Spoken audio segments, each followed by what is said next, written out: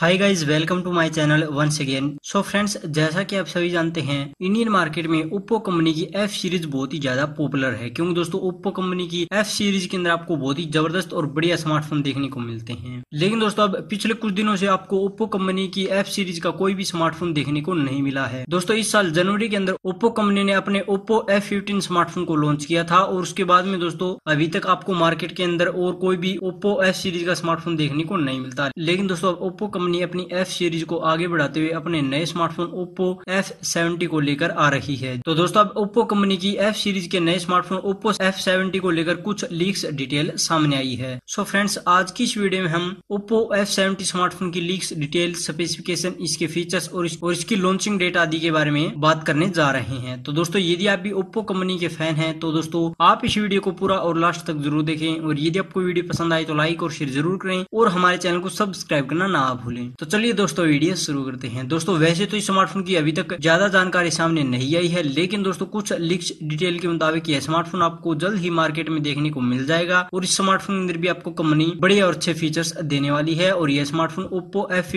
Smartphone का upgraded version smartphone होगा। और इसके साथ दोस्तों, कुछ ऐसी लीक्स डिटेल भी सामने आई है की यह कंपनी का फाइव स्मार्टफ़ोन हो सकता है। तो दोस्तों, अगर इस स्मार्टफ़ोन की स्पेसिफिकेशन की बात की जाए तो दोस्तों, इस स्मार्टफ़ोन के अंदर आपको कंपनी छह इंच की full H D super AMOLED display देने वाली है, जो कि एक हज़ार अस्सी गुना चौबीस सौ पिक्सल के रेजोल्यूशन के साथ होगी और इसका स्पेक्ट रेशियो बीस अनुपात नौ होगा। और इसके बैक और फ्रंट पैनल के ऊपर आपको गोरेला ग्लास फाइव का प्रोटेक्शन देखने को मिल जाएगा। लेकिन दोस्तों, इस स्मार्टफ़ोन के अंदर आपको पंच होल नोज़ डिस्प्ले देखने को मिलेगी या वाटर ड्रॉप नोज़ डिस्प्ले देखने को मिलेगी, इसके बारे में जानकारी नहीं मिली है। लेकिन दोस्तों, आज के समय के ट्रेंड को देखते हुए इस स्मार्टफ़ोन के अंदर आपको शायद company punch hole notch display ही दे सकती है और इसके साथ ही इसके अंदर आपको इन डिस्प्ले फिंगरप्रिंट स्कैनर भी देखने को मिल जाएगा। तो दोस्तों डिस्प्ले के मामले में स्मार्टफ़ोन आपके लिए बढ़िया रहने वाला है। इसके अंदर आपको फुल साइज़ की बड़ी डिस्प्ले देखने को मिल जाएगी और इसके अंदर आपको दोस्तों सुपर एमोलेड का पैनल देखने को मिलेगा। और अगर दोस्तों बात की जाए इस स्मार्टफ़ोन के कैमरा सेटअप की तो दोस्तों जैसा की आप सभी जानते हैं, आजकल के समय में आपको ज़्यादातर स्मार्टफ़ोन के अंदर कवाड रियर कैमरा सेटअप की देखने को मिल जाता है। तो दोस्तों आपको ओप्पो एस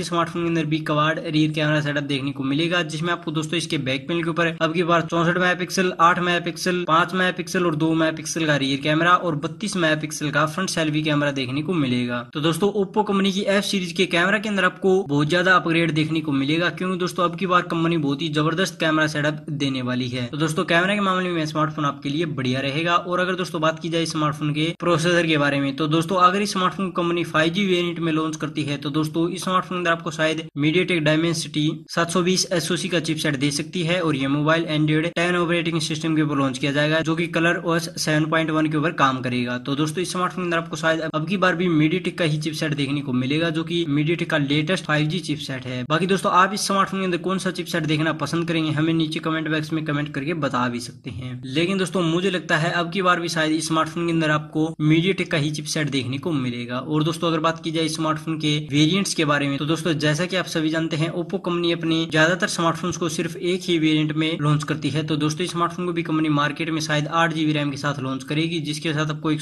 जीबी का इंटरनल स्टोरेज देखने को मिलेगा और इसके अंदर आपको माइक्रो एस कार्ड का भी स्लोट मिल जाएगा। तो दोस्तों मार्केट में स्मार्टफ़ोन का आपको एक ही वेरियंट देखने को मिल सकता है। और दोस्तों, अगर बात की जाए स्मार्टफ़ोन की बैटरी की तो दोस्तों, इस स्मार्टफ़ोन की बैटरी के अंदर भी आपको अब की बार शायद अपग्रेड देखने को मिलेगा। क्योंकि दोस्तों, इस स्मार्टफ़ोन के अंदर आपको शायद कंपनी तीस वाट के फास्ट चार्जिंग सपोर्ट वाली पैंतालीस सौ की बड़ी और अच्छी पावरफुल बैटरी दे सकती है, जो की वूक फ्लैश चार्जिंग फोर के सपोर्ट के साथ आएगी। तो दोस्तों स्मार्टफ़ोन के अंदर आपको बड़ी और अच्छी क्वालिटी की पावरफुल बैटरी देखने को मिल जाएगी और इसके अंदर आपको फास्ट चार्जर भी शायद तीस वाट से ऊपर का देखने को मिल जाएगा। तो दोस्तों, ये थी स्मार्टफ़ोन की अब तक कुछ सामने आई लीक्स डिटेल चलिए दोस्तों, बात करते हैं स्मार्टफ़ोन के प्राइस और इसकी लॉन्चिंग डेट आदि के बारे में। दोस्तों, अगर बात की जाए स्मार्टफ़ोन की लॉन्चिंग डेट की तो दोस्तों, वैसे तो स्मार्टफ़ोन की लॉन्चिंग डेट के बारे में ज़्यादा जानकारी सामने नहीं आई है, लेकिन दोस्तों लीक्स डिटेल के मुताबिक यह स्मार्टफ़ोन आपको अगले महीने की शुरुआत के अंदर मार्केट में देखने को मिल जाएगा। और दोस्तों, अगर इसके प्राइस की बात की जाए तो दोस्तों, यदि स्मार्टफ़ोन को कंपनी फाइव जी वेरियंट में लॉन्च करती है तो दोस्तों, यह स्मार्टफ़ोन आपको मार्केट में सताइस से तीस हज़ार रुपए के आसपास देखने को मिल सकता है। बाकी दोस्तों, आपको अब की बार ओप्पो एफ़ सेवेंटी स्मार्टफ़ोन के अंदर फीचर्स बढ़िया देखने को मिलेंगे, इसमें कोई दो राय नहीं है। तो दोस्तों, आपको यह स्मार्टफ़ोन कैसा लगा, हमें कमेंट करके ज़रूर बताएँ, और यदि आपको वीडियो पसंद आए तो लाइक और शेयर ज़रूर करें, और हमारे चैनल को सब्सक्राइब करना ना